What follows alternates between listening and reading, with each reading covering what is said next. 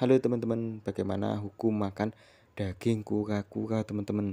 Nah, di artikel di literatur itu banyak ya perbedaan tuh yang ada yang bilang halal lah, ada yang bilang haram gitu. Terus jadinya kan kalau sesuatu yang meragukan lebih baik kita tinggalkan kan teman-teman daripada enggak-enggak gitu loh teman-teman. Ya, jadi hukum pastinya aku juga nggak tahu tapi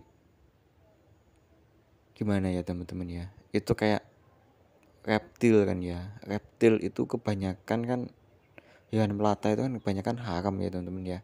Ya enggak sih? Ih pokoknya kalau aku sih ya menurut kalian gimana? Kalau menurut kalian ada yang tahu literatur yang lebih valid gitu enggak sih? Kalau aku sih lebih menghindari ya kayak bekicot itu loh.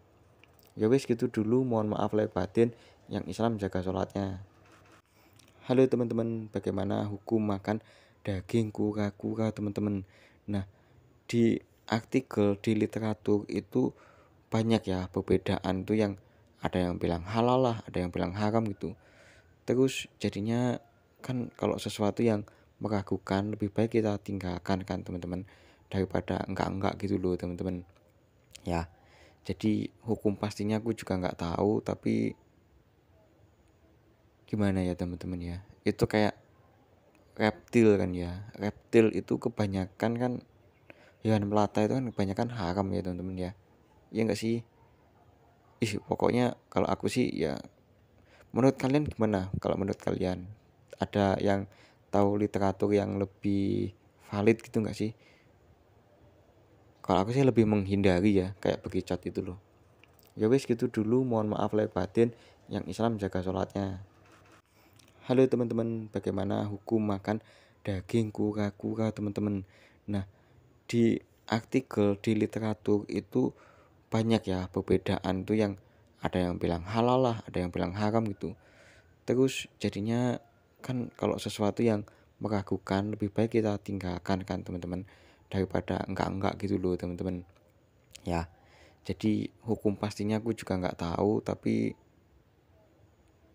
gimana ya teman-teman ya? Itu kayak reptil kan ya? Reptil itu kebanyakan kan hewan melata itu kan kebanyakan haram ya teman-teman ya?